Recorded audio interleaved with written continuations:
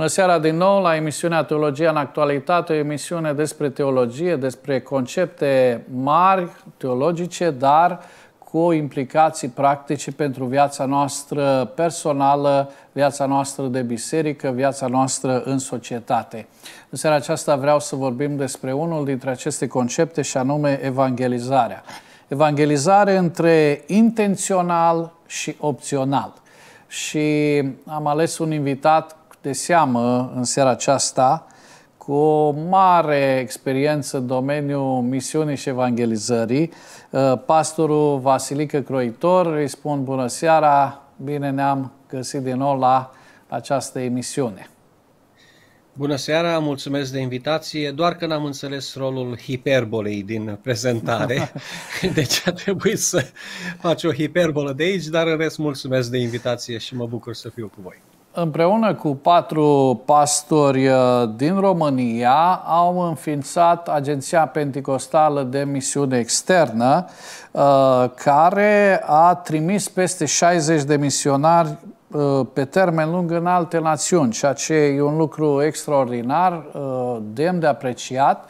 Uh, de asemenea, pastorul Vasilică Croitoru uh, a fost președintele comunității regionale pentecostale din Constanța, uh, lucrează ca și editor, autor de cărți, este cunoscut și foarte cunoscut prin cartea Răscumpărarea Memoriei, Uh, nu vom vorbi în seara aceasta despre lucrul acesta, dar aș vrea să ne întoarcem la uh, tema noastră, evangelizare, într-o astfel de vreme, dacă mai este oportun să vorbim sau nu de, despre evangelizare. Dar aș vrea să plec dintr-un uh, punct foarte personal discuția noastră și anume uh, când ai venit în Dobrogea, am schimbat registrul uh, discuției noastre, când uh, ai venit în Dobrogea, cum ai simțit chemarea de a veni într-un câmp misionar?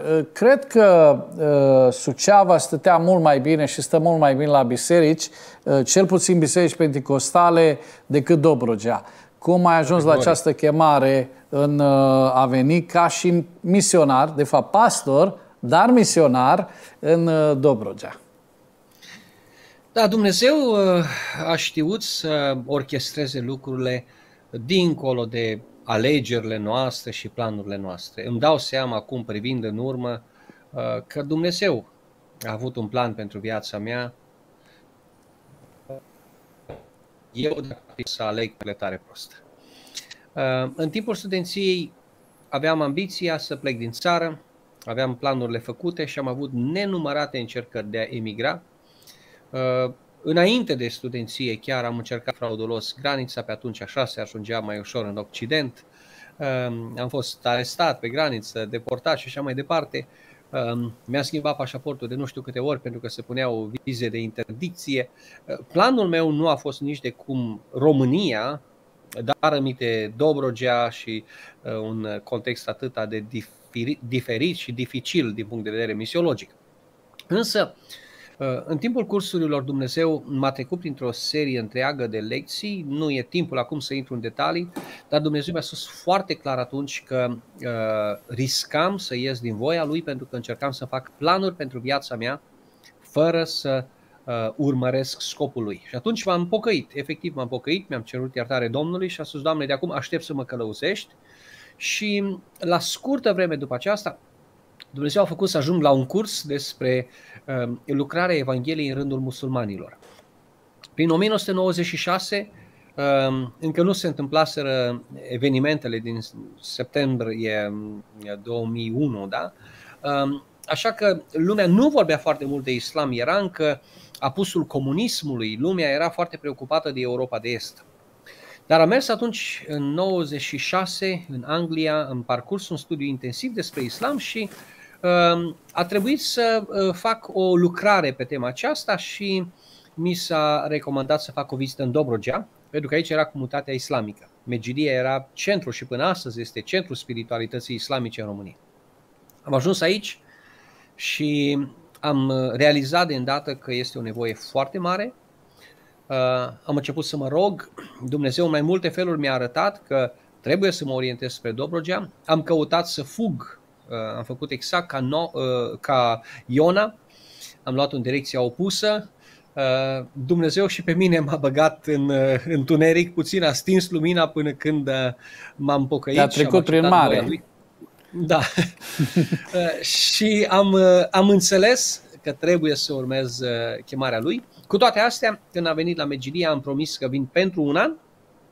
Au trecut deja 24 și mulțumesc lui Dumnezeu că uh, am văzut mâna lui în, uh, în toată experiența aceasta și acum știu foarte bine că era planul lui Dumnezeu uh, întocmit mult mai bine decât ceea ce eu mă gândeam să fac eu pentru viața mea, după ambițiile mele, după egoismul meu.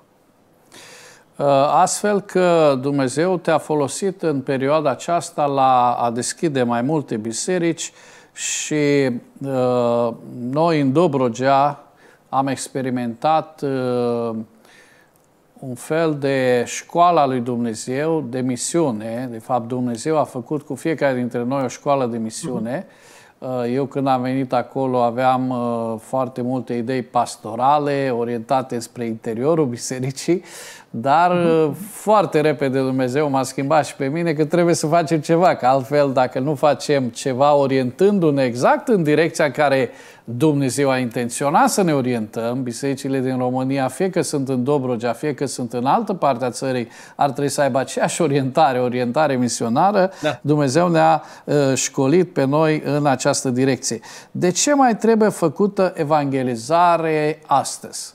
Ar fi o întrebare. Uh, mulți spun evangelizarea nu mai funcționează.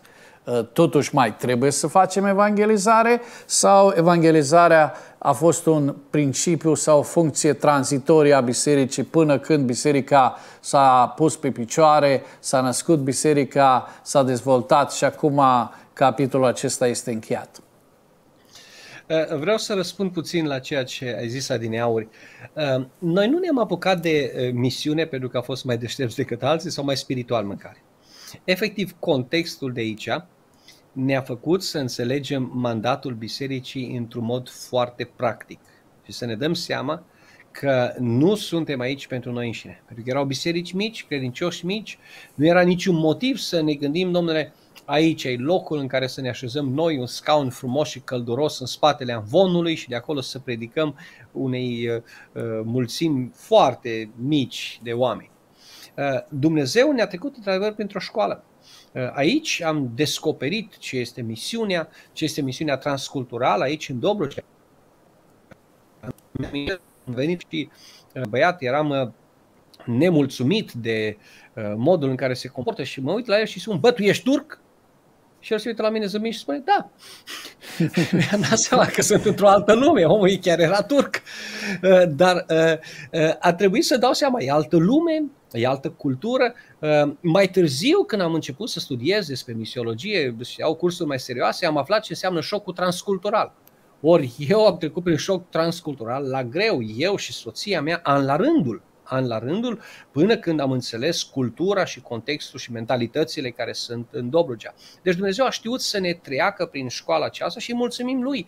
În felul ăsta uh, ne-am, ne-am trezit purtat de uh, valul, de uh, metodele lui Dumnezeu, că începem să ne gândim și la alte etnii, la alte popoare, Așa s-a născut ideea unei agenții de misiune externă, pentru că la început au fost turci care s-au întors la Domnul, Apoi unii dintre ei au vrut să meargă în Turcia, unii dintre lucrători, n-am avut resurse, n-am știut cum se face pasul ăsta. Ne-am dat seama că avem nevoie de o uh, agenție de misiune, ne-am dat seama că avem nevoie de o școală de misiune, ne-am dat seama că avem nevoie de literatură de misiune, de conferințe de misiune, de proiecte misionare și toate lucrurile acestea au venit în mod natural. Uh, le-am învățat pe măsură ce le-am făcut, uh, unele Uh, le-am fi putut face mai bine dacă aveam mai multă experiență, mai multă înțelepciune, dar și acolo Dumnezeu s-a îngrijit. Am avut lângă noi niște misionari de carieră, uh, un frate, de exemplu, care uh, a plecat la Domnul, dar era păstor pensionar în Statele Unite, foarte experimentat în domeniul misiunii, și el a venit alături de noi, a venit în echipa noastră, ne-a fost mentor, ne-a ajutat foarte mult și Dumnezeu a făcut ca în felul acesta să, să putem să punem bazele unei, unei lucrări de felul acesta. Acum, referitor la întrebarea pe care ați spus-o, uh, faptul că există încă creștini uh, care nu concep sau nu-și gândesc viața în termenii misiologici, în termenii evangelizării, ar fi o anomalie, o aberație pentru ucenicii din primul secol. Dacă Pavel, dacă Petru uh, ar sta de vorbă cu credincioși, cu păstori de astăzi care ar spune, domnule, prioritatea bisericii noastre este să uh, construim uh, cimitirul parohial pentru că avem oameni în vârstă și ne gândim cum să le facem. Prioritatea noastră anul ăsta este să mai extindem un corp de clădire. Prioritatea noastră este să mărim parcarea, să facem cu tare. Oamenii ăștia s-ar uita la noi și ar spune, da, voi pe ce planetă trăiți, ce Biblie voi ce, Hristos, voi ce Hristos urmați. pe cine mărturisiți voi, pentru că biserica este o biserică proclamatoare. Deci aici uh, suntem în mod categoric, ne situăm în afara contextului și a practicii bisericii nou testamentare, care a avut în esența ei, în centrul ei, uh, proclamarea Evangheliei, apoi Celelalte lucruri practice s-au întâmplat în mod natural ca să susțină lucrarea Evangheliei. Dar nu existau proiecte care să nu aibă în centru uh, vestirea lui Hristos. Sunt astăzi creștini care uh, evită evangelizarea și uh, o evită invocând diferite piedici. Uh, unele piedici sunt doar pretexte sunt și piedici în mod real, dar care sunt acele pretexte, uh, scuze pe care creștinii astăzi le folosesc și chiar uh, biserici uh, în a se implica în comunitate cu vestea bună? Aș vrea să fac precizarea că nu trebuie să ne grăbim să-i blamăm pe acei care nu fac evangelizarea, atâta vreme cât n-au fost instruiți, n-au fost mentorați, Uh, n-au fost ajutați de cineva să facă primii pași în prezentarea Evangheliei. Nu e un lucru simplu. Adevărul este că lumea este ostilă. Uh, alții sunt uh, foarte porniți împotriva bisericii și au argumente la care poate cineva nu s-a gândit și nu le-a prevăzut vreodată. De asta e foarte ușor pentru cineva să încerce, să eșueze și apoi să spună nu voi mai face niciodată asta. Problema apare însă atunci când oamenii au experiență, au cunoscut voia lui Dumnezeu, au auzit chemarea lui Dumnezeu, dar din lene, din nepăsare, din, uh, din pricina faptului că au alte priorități, priorități greșite în viața lor, au lăsat deoparte uh, Evanghelia. Uh, cred că, ce am spus deja, se naște o responsabilitate foarte importantă pentru noi care suntem chemați de Dumnezeu să facem ucenici și să pregătim trupul lui Hristos pentru slujire. Uh, oamenii uh, nu vor face lucrarea de evangelizare în mod automat, ci au nevoie de un cadru în care să fie instruiți și pregătiți. Uh, citeam undeva o statistică că mai puțin de 5% dintre membrii bisericii au un oarece dar pentru evangelizare. Undeva între 2 și 5% este marja acelora care în mod natural pot să vorbească despre Hristos și o fac fără să trebuiască să-i motiveze cineva, au în ei darul acela. E un dar de la Dumnezeu. Ce facem cu ceilalți 95 până la 98%? Ei bine, pentru aceea trebuie să existe și un proces mai uh, serios de echipare, de motivare, și aici biserica, cred eu, a făcut foarte puțin în, în, în vremea noastră. Nu e de ajuns ca să spunem de la învon, mărturisiți-L pe Hristos. Trebuie să le spunem cum. Trebuie să aducem exemple, trebuie invitați în biserică, în mod obișnuit, oameni care pot să mărturisească cum i-a folosit de Dumnezeu, Dumnezeu pe ei în mod practic să relateze întâmplări și experiențe în umblarea cu Dumnezeu, pentru ca și ceilalți să poată să, să vadă. Deci, cred că uh, uh, răspunsul, ca să rezum ceea ce am spus, are de a face cu o cultură evanghelistică, care, în măsura în care este promovată în viața bisericii, îi va determina pe oameni să uh, facă pasul acesta cu bucurie, să facă cu uh, interes și să răspundă acestei chemări din partea lui Dumnezeu. Altfel, s-ar putea că uh, mai degrabă stârnim în inima lor uh, mai multă acuzare, mai multă dezamăgire. Uite, frații mi-au spus să vorbesc despre Hristos, eu n-am făcut-o, n-am curaj, nu știu, mi-e rușine și uh, mai mult doar îi facem să, fie, să se simtă acuzați și învinovățiți, fără ca să-i putem de fapt îndruma să fie eliberați, să-și cunoască resursele, să știe ce vrea Dumnezeu de la ei și să fie împuterniciți pentru lucrarea de evangelizare. Deci cumva ar pleca discuția dinspre interior spre exterior uh, și uh, modul în care noi ca și biserică funcționăm îi va ajuta sau împiedica pe credincioși să fie uh, martori ai lui Hristos în societate. Și mi-a plăcut ideea că noi nu trebuie doar să-i alungăm pe credincioși, ca și cum am luat un, o bâtă și mergeți afară, mergeți afară, uh, ei fug afară, merg spre societate, oricum sunt acolo, pentru că își duc exact. viața acolo, uh, dar noi, în loc să-i pregătim, doar îi alungăm și atunci îi speriem. Și atunci uh, aici ai punctat faptul că ar trebui ca evangeliștii și cei care sunt în biserică cu daruri speciale să fie aceia care să echipeze pe credincioși pentru a fi martori ai lui Iisus Hristos Uh, în fiecare zi uh, acolo unde Dumnezeu i-a uh, așezat.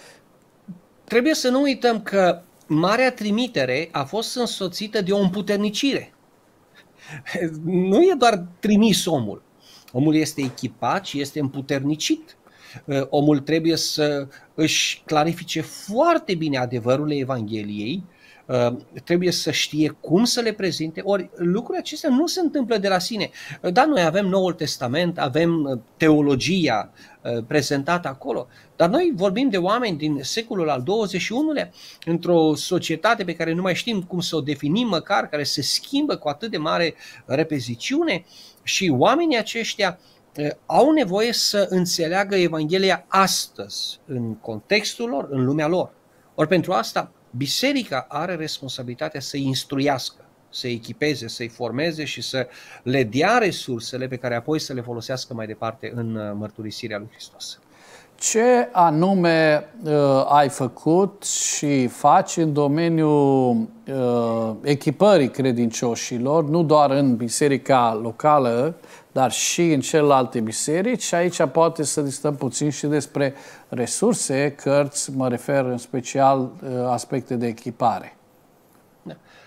Um, noi am fost pasionați de uh, lucrare de evangelizare în contextul nostru. La început uh, ne-am focalizat în lucrarea pe sate.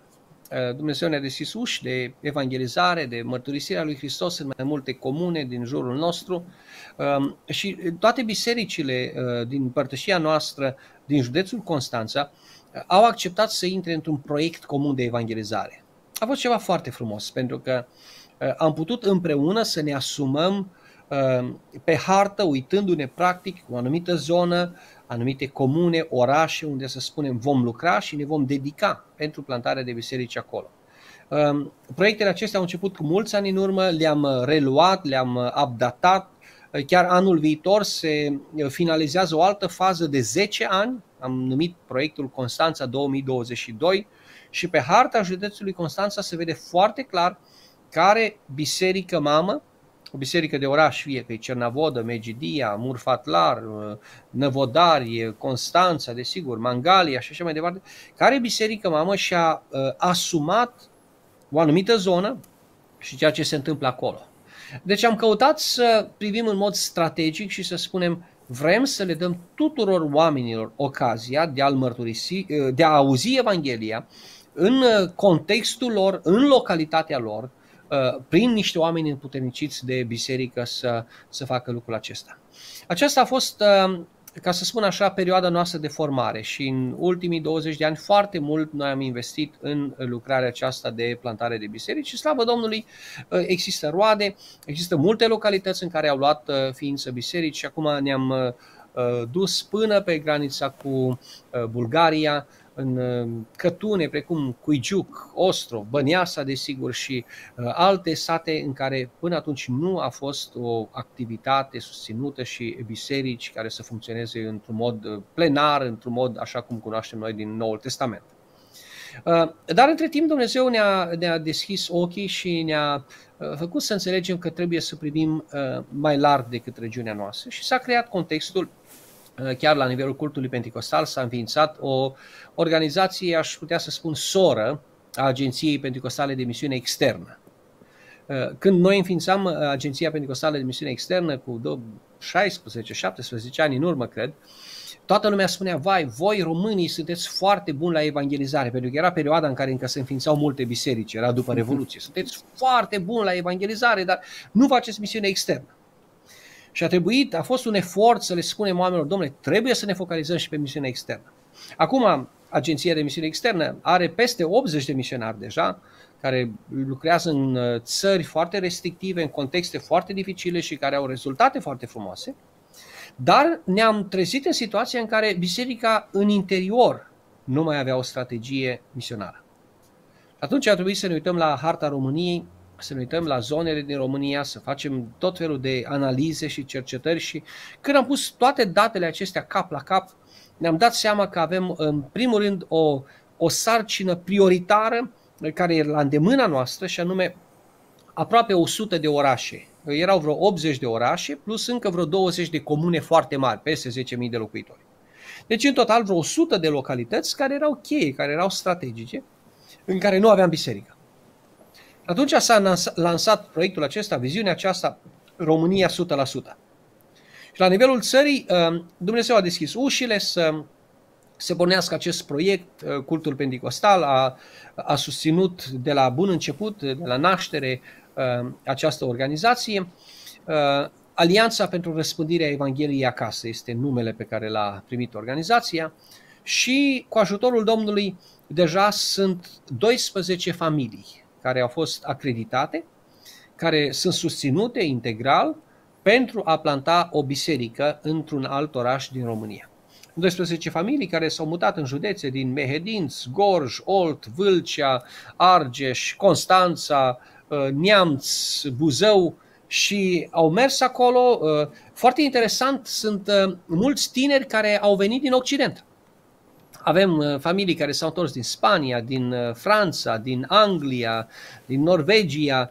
Uh, au lăsat acolo condiții foarte bune, dar au auzit chemarea Duhului Sfânt. Au lăsat totul și au făcut un pas radical mutându-se în orășele mici din România, pentru că vorbim de localități care nu sunt cu răsunet, Vânju Mare, Băbeni, mhm. Bălcești și așa mai departe. Dar au înțeles cât de important este să își dedice viața unui astfel de scop și au făcut-o cu bucurie. Deci avem deja 12 familii care au preluat lucrarea în 12 localități și ținta noastră este să avem aproximativ 50 de familii, cel puțin 30, Uh, pentru că dacă sunt 30 de familii și, să spunem, fiecare ar fi folosită de Dumnezeu pentru a planta măcar două sau trei biserici, s-ar muta, ar ajuta două, trei orașe, deja am putea să, să bifăm primul proiect, și anume România 100%. Pentru că uh, nu vizăm doar plantarea de biserici în orașe sau doar plantare de biserici, lucrare de evangelizare uh, comportă multe alte domenii și poate vom discuta despre asta, dar acum mă aștept și mă rog Domnului ca acest proiect să fie dus la, uh, la bun sfârșit. Deci dacă ar fi să uh, fac un rezumat ceea ce am discutat acum legat de intențional și intenționalitate evangelizare, eu am desprins aici Uh, trei aspecte care au fost menționate, și anume planificarea strategică, Uh, nu pot să fii intențional, vom vedea, vom face, uh, intenționăm, uh, ne dorim, acestea sunt elemente care arată că cineva nu este intențional în evangelizare. Ne-am uitat pe hartă și am văzut că sunt 100 de localități. Ne-am uitat în stânga și în dreapta și am văzut că e nevoie de uh, evanghelie și sunt locuri care au nevoie de evanghelie și atunci uh, nu poți să vorbești despre intenționalitate fără un aspect strategic planificat ceea ce am desprins din discuția noastră. După aceea uh, am uh, desprins de aici și nevoia de uh, lucrători cu viziune care să vadă aceste realități, merg mână în mână și am înțeles că există o echipă și că viziunea e foarte importantă. Dacă nu veți, nu poți să te ocupi de ceva dacă nu ai viziune și această viziune vine la Dumnezeu și aș mai remarca un element foarte important la care propun să ne întoarcem uh, pe parcursul emisiunii și anume prezența. Evangelizarea intențională înseamnă să fii prezent acolo, să fii prezent în societate, nu să, uh-huh. să fii cu oamenii, a muta niște familii uh, acolo. Da, uh, aș vrea să continuăm pe această linie a proiectului acesta. Uh, am văzut uh, o discuție între evangelizare și plantare de biserici și aș pleca întâi de toate conceptual. Sunt echivalente evangelizarea și plantarea de de biserici uh, și misiunea, că deja am vorbit acești termeni, sau uh, e o diferență înt, uh, conceptual vorbind între acești termeni? Fără îndoială că există o diferență, sunt două etape în lucrarea de mărturisire a Evangheliei. Haideți să ne gândim la pilda semănătorului. Semănătorul a semănat sămânța, o parte în final a încolțit, cealaltă parte știți ce s-a întâmplat cu ea, dar dacă nu mai vine și un secerător care să ia rodul acela, să-l strângă, să-l ducă într-un grânar și să numere și să spună o sămânță a dat 30, alta a dat alta 60, alta 100, dacă nu este un proces prin care rodul să fie asimilat, să fie adus în hambare, atunci tot efortul de semănare eh, devine irelevant. Biserica trebuie să-și echipeze membrii pentru evangelizare, pentru a-L mărturisi pe Hristos, dar ținta trebuie să fie ca acei oameni să ajungă în părtășia vie cu biserica și pentru aceasta e nevoie de înființarea de biserici locale în proximitatea acelor grupări de oameni care s-au întors la Hristos. De asta trebuie să mergem într-un oraș, să spun uh, Ștefănești sau Băbeni sau uh, Vânju Mare uh, și acolo să creiem un cadru pentru funcționarea unei biserici nou-testamentare, în care să fie predicată Evanghelia, după cum ne învață Cuvântul Sfânt, în care oamenii să aibă părtășie unii cu alții și să se ajute unii pe alții în umblarea cu Domnul și așa mai departe. Și aceasta, procesul acesta de plantare de biserici nu este unul facil um, în contextul de astăzi, în care oamenii totuși sunt destul de dezinteresați față de Evanghelie. Este costisitor, uh, necesită uh, o dedicare foarte serioasă și lepădare de sine. Să renunți tu, tânăr, la niște ambiții, la niște scopuri, te-ai dus în străinătate, ți-ai făcut deja o carieră, ți-ai făcut un viitor și apoi spui, las totul în urmă și mă duc să trăiesc în condiții modeste într-un oraș de care n-au auzit poate nici unii din prietenii mei, um, și nu pentru o lună sau două, nu e o călătorie pe termen scurt, ci pe termen lung mă dedic lucrării acestea. Asta presupune o, o hotărâre serioasă. Dar uitați-vă în Scriptură. Asta au făcut apostolii. Petru, Pavel, um, uh, ucenicii Domnului au plecat toți, de fapt. Au plecat toți ca să vestească Evanghelia. Pentru ei a fost așa de natural, așa de logic. Nouă ni se pare astăzi că este o, o mare realizare sau o, o, un caz de excepție. Dar în Noul Testament oamenii vesteau Evanghelia, dar apoi urma plantarea bisericii. Uitați-vă, Filip în Samaria. Merge acolo și a ajuns din pricina uh, prigoanei, a ajuns în Samaria, a vestit pe Hristos, dar de îndată au venit întărituri de la Ierusalim și acolo a luat ființă o comunitate creștină. Ăsta este procesul biblic, ăștia sunt pașii biblici și nu trebuie nici de cum să-i sărim sau să-i uh, reformulăm noi după mintea noastră, pentru că modelul de evangelizare și de plantare de biserici este foarte clar precizat deja în Noul Testament. Nu trebuie să-l inventăm noi, trebuie doar să-l aplicăm în contextul în care ne-a așezat Dumnezeu. Evanghelia naște biserica și evangelizarea naște biserica, propovăduirea Evangheliei a dus la nașterea bisericii, uh, la deschiderea unor noi biserici și cumva plantarea rezultă din acest proces de evangelizare, un proces care este uh, complex, încadrat de unii sub umbrela mare a uceniciei, ai facerii de ucenici, ai mandatului uceniciei, care uh, are de include evangelizare și care rezultă în uh, plantarea de biserică. Ați uh, vorbit despre acest proiect România 100 și ați început deja să ne explicați puțin care e strategia acestui proiect, pentru că uh, astăzi uh, unele metode nu mai funcționează sau spun unele biserici pretind că unele metode nu mai funcționează. Uh, ați propus și sunteți în derularea unei strategii care credeți că este biblică și că va aduce roadă și va avea ca și rezultat plantarea de biserici, nu doar limitarea la răspândi Evanghelia, fără a ne interesa dacă aceasta a dus uh, și-a găsit uh, finalitate în plantarea de biserici. Deci, uh, aș vrea să reluăm procesul acesta și să ne spuneți puțin uh, legat de cum veți face sau care e planul uh, în, acest, în această uh, strategie de evangelizare și plantare. Prima etapă a fost cercetare pentru ca să ne putem mobiliza, să se poată uh, uh, elibera resurse, a trebuit să înțelegem foarte bine contextul. Și contextul uh, care a rezultat în urma analizei, în urma cercetării, a fost foarte limpede. Nu mai există o viziune de evangelizare, uh, la nivel național mai ales.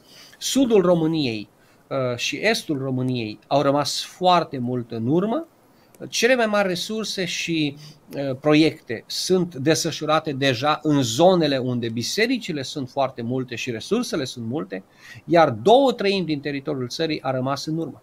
Pentru asta, ca să se schimbe lucrurile, e nevoie de o uh, mobilizare a bisericii ca întreg, nu doar a unor grupuri mici, răzlețe, care încearcă să facă în județul X sau în județul Y câte ceva. După ce am avut această cercetare foarte clară și cifrele vorbesc, cifrele nu mai mint, cifrele sunt cifre. Când sunt puse față în față cu datele de la recensământ, cu rapoartele pe care le au bisericii, bisericile, se poate vedea contextul. După asta ne-am rugat și am cerut Domnului călăuzire, au fost câteva întâlniri la care uh, ne-am sfătuit, um, am avut prilejul să particip la toate întâlnirile acestea, s-a încercat în diverse moduri să se închege ceva. În final, Dumnezeu ne-a călăusit să scriem procesul, proiectul acesta uh, România 100% și ideea sau strategia de bază a fost aceasta. Ducem câte o familie în orașele în care nu există biserică. Când am înțeles care este nevoia cea mai mare și anume plantarea de biserici în orașele fără biserică, atunci am spus trebuie să căutăm o familie din România care să se mute acolo. S-a înființat și o organizație cu binecuvântarea fraților din cult, dar uh, dincolo de asta s-a creat un board care să uh, mediteze, care să caute soluții practice. Uh, a făcut un plan pentru recrutare, s-a deschis un site și am căutat să recrutăm oameni care au o chemare clară din partea lui Dumnezeu pentru evangelizare. S-au făcut cursuri, s-au făcut Uh, seminarii de instruire. De exemplu, anul trecut, în ciuda pandemiei, în fiecare lună, cu excepția lunii decembrie, ne-am întâlnit cel puțin două zile cu acești evangeliști. Am stat de vorbă cu ei. Deci i-am, uh, i-am adus la pregătire, la mentorare. Uh, a trebuit să găsim apoi o formă de susținere. Și aici apar întrebări foarte practice, foarte pertinente, dar care sunt indiscutabil necesare în, într-o astfel de etapă. Uh, cum îi vom susține? Îi vom susține individual, prin biserici locale, uh, avem un fond central de misiune, îi trimitem pe ei ca să-și adune fondurile. Uh, sunt astfel de întrebări practice care consumă timp, dar trebuie căutată soluția cea mai bună, cea mai optimă în funcție de contextul bisericii. Pentru noi a fost Uh, în ordine să apelăm până în prezent la uh, ideea unui fond comun de misiune, chiar dacă la Agenția Pentecostală de Misiune Externă uh, fiecare misionar a avut contul lui. Fiecare misionar și-a adunat singur fondurile și noi doar i-am ajutat, i-am consiliat în procesul acesta. De data aceasta am considerat că pentru misiunea internă e mai bine să existe un fond comun de misiune. Avem, deci, toate etapele acestea, ultima etapă care ne preocupă acum și vrem să o punem cel mai bine în, uh, uh, în valoare, este partea de mentorare continuă a evangeliștilor. Noi ne dorim ca evangeliștii să poată să beneficieze de influența, de ajutorul unui mentor în mod constant și uh, acum avem un curs de mentorare, uh, avem resurse pe care vrem să le punem în aplicare în așa fel încât noi să ne putem focaliza pe altă, uh, pe altă etapă uh, a proiectului nostru. Vreau să mai menționez un lucru, că în perioada de instruire am fost binecuvântați de parteneriatul pe care l-am avut și cu M4 România, um, o organizație fică a organizației M4 Europa. Scopul a fost să găsim resurse bune pe care să le punem în mâna uh, evangeliștilor și a plantatorilor de biserici. Uh, am uh, notat uh, aceste metode de aceste etape ale strategiei de evangelizare pe care o derulați, prima fiind cercetarea și uh, cercetarea pe care ați făcut-o la nivel național, presupun, uh, uitându-vă la locurile mm. care sunt și nu sunt evangelizate și uh, am uh, remarcat din această cercetare că ați constatat și anumite aspecte care au bisericile nevoie pentru a putea să se miște într-un astfel de proiect și anume au nevoie de viziune și de mobilizare. Uh, aspectele acestea le-am desprins, uh, au nevoie să vadă nevoia, până la urmă, mă repet, mhm. nevoia, nevoia, dar au nevoie să vadă mhm. nevoia și lucrarea lui Dumnezeu într-o anumită zonă, dar să și fie gata să mobilizeze uh, la uh, misiune. Cum faceți această mobilizare a bisericilor sau cum ajutați bisericile să-și mobilizeze credincioșii spre evangelizare și uh, plantare de biserici? Uh, lucrul ăsta, lucrul ăsta se întâmplă pas cu pas. Nu este o metodă, ca să spun așa, uh, automată, automatizată, care să funcționeze de la sine. E un efort, e o cheltuială, este o investiție de timp relațională, dar uh, în conferințe, chiar în toamnă, între 6 și 8 septembrie, la Suceava, vom face prima conferință națională organizată de către Alianța pentru Răspândirea Evangheliei Acasă sau ARIA, cum este uh, Uh, denumirea noastră în acronim. Uh, între 6 și 8 septembrie facem prima conferință de felul acesta și avem mari așteptări. Avem invitați de calibru, uh, dorim ca să dăm liderilor și evangeliștilor care vor participa un semnal foarte clar că e cea mai bună perioadă pentru plantare și evangelizare de biserici pe care a avut-o România în toată istoria ei acum trăim. Noi suntem generația care avem cele mai multe resurse, cea mai mare libertate, cei mai pregătiți oameni, cele mai multe uși deschise. Uh, acum este momentul să facem ceea ce n-am făcut niciodată. Uh, trebuie să ieșim din uh, tipare, să ieșim din zona de confort acum și să punem în valoare ceea ce Dumnezeu a încredințat bisericii. Deci conferințele sunt un foarte bun instrument de evangelizare. Apoi, oamenii trebuie să fie informați constant. că statisticile îi șochează pe cei mai pregătiți și informați oameni. Pentru că toți avem pretenția că știm până când suntem întrebați lucruri concrete. Și atunci ne dăm seama că nu e chiar atât de bine știut lucrul pe care aveam pretenția că îl știm. Uh, când pui statisticile în fața oamenilor, oamenii își dau seama că sunt zone, sunt uh, statisticile vorbesc și îți arată care este nevoia. Uh, de exemplu, referitor la mobilizare și misiune, la tensiunea dintre cei doi termeni, Dumnezeu mi-a vorbit în ultima perioadă și am luat harta României și am făcut ceva ce nu, nu făcuserăm până atunci. Până acum România era împărțită în două zone zona evangelizată și zona săracă în uh, biserici. Uh, dar mi-am dat seama că de fapt noi avem trei regiuni, trei uh, zone care sunt foarte importante și care trebuie puse în valoare și pentru care trebuie să avem o abordare diferită, un, un limbaj diferit.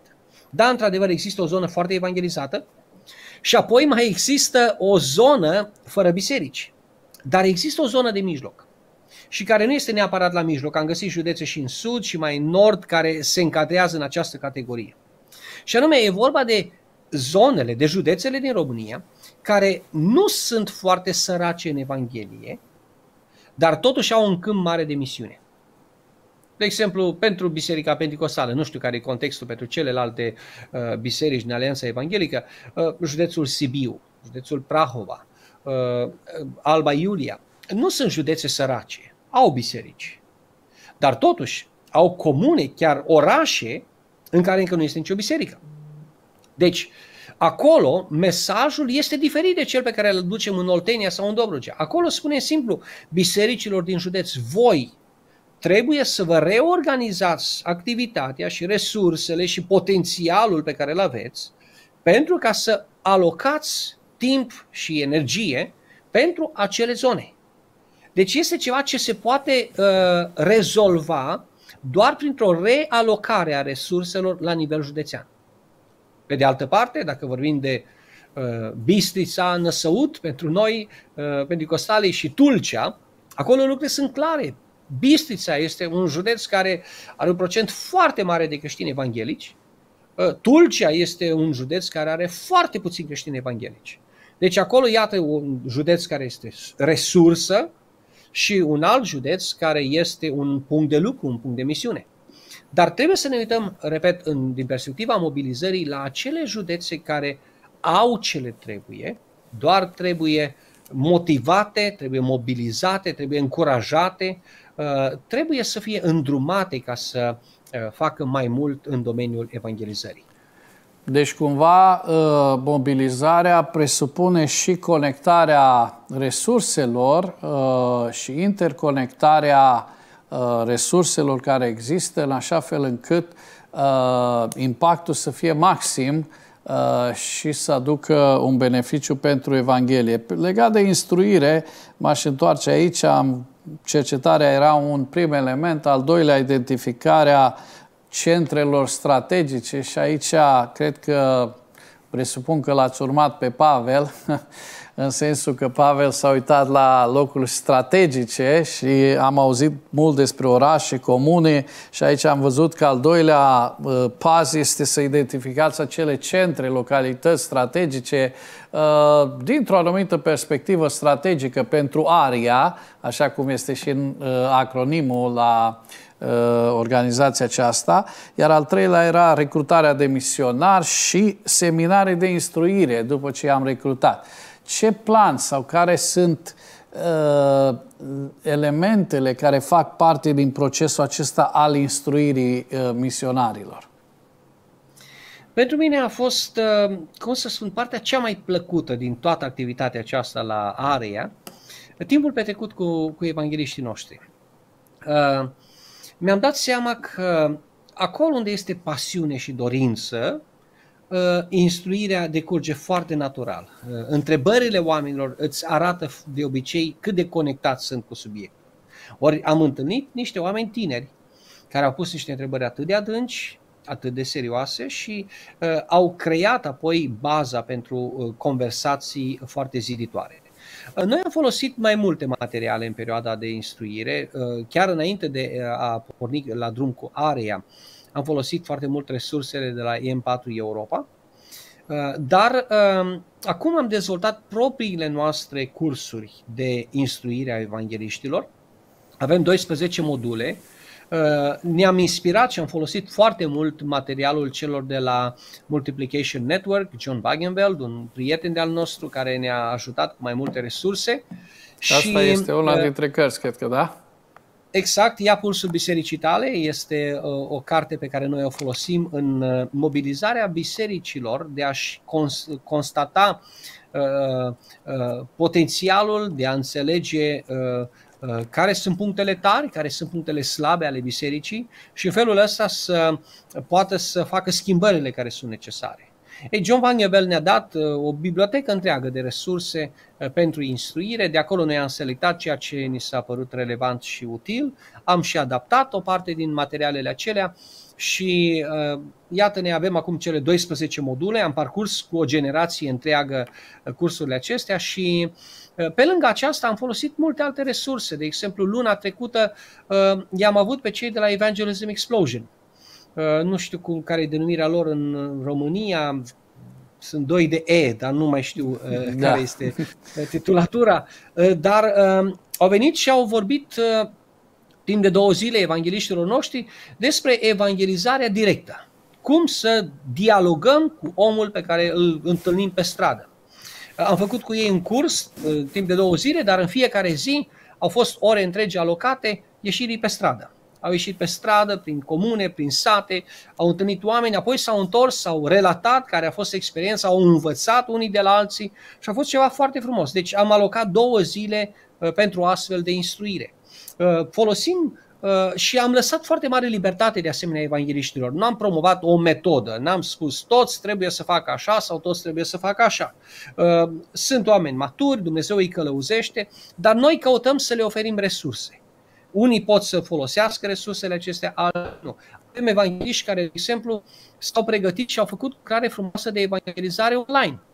Au făcut uh, acțiune de evangelizare uh, prin grupuri targetate pe Facebook, oameni din localitatea lor au plătit uh, câteva uh, uh, calupuri de publicitate de felul acesta și s-au conectat cu oameni din localitatea lor uh, prin intermediul online-ului.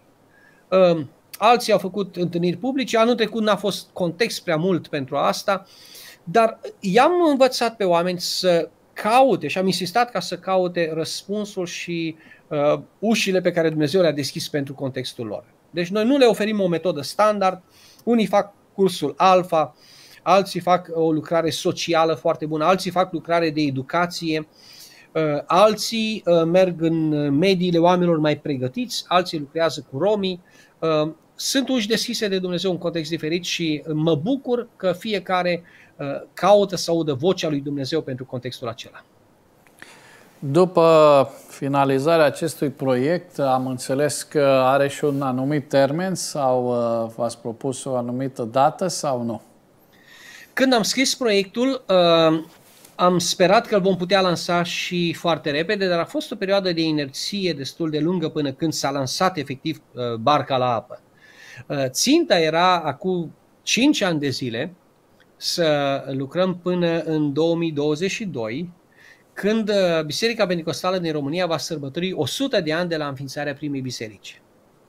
Și noi ne-am fi dorit ca atunci, în septembrie 2022, să putem să raportăm și faptul că în fiecare oraș din România există o biserică pentecostală.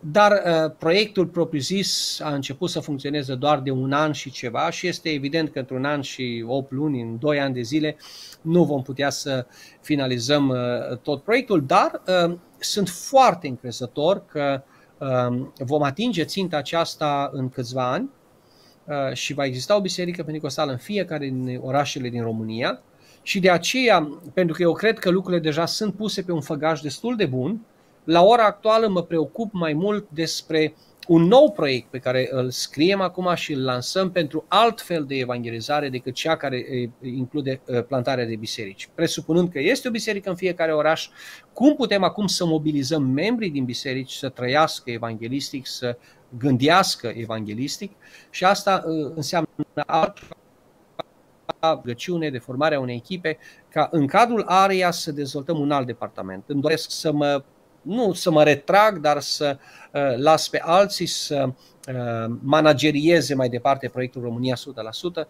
și acum să dăm naștere altor uh, domenii de dezvoltare în lucrare de evangelizare. Deci primul proiect are de-a face cu uh, plantarea, iar al doilea ar avea de-a face cu evangelizarea ca și stil de viață, care uh, rezultă cumva tot în comunitate, dar nu în plantarea unor noi biserici, biserici, ci în creșterea bisericilor existente, sau nu exclusiv, pentru că se pot planta și prin acest proiect noi biserici, dar nu exclusiv, ci uh, creșterea bisericilor prin evangelizare, cum ar veni. Se poate vorbi de multe uh, nișe de evangelizare. Putem să vorbim, de exemplu, despre evangelizare prin mass media care presupune ceva diferit de ceea ce fac plantatorii noștri. Uh, putem să vorbim de evangelizare în diverse grupe de vârstă uh, sau prin, uh, în diverse categorii sociale. Există multe abordări pe care le găsim și biblice și practice și bine manifestate în istoria bisericii, doar trebuie ca să uh, auzim proaspăt ceea ce Duhul Sfânt are să ne spună nouă pentru generația noastră, să vedem care sunt ușile deschise. Vedeți, în, în fapte 13, apostolii au zis, ni s-a părut nimerit Duhului Sfânt și nouă.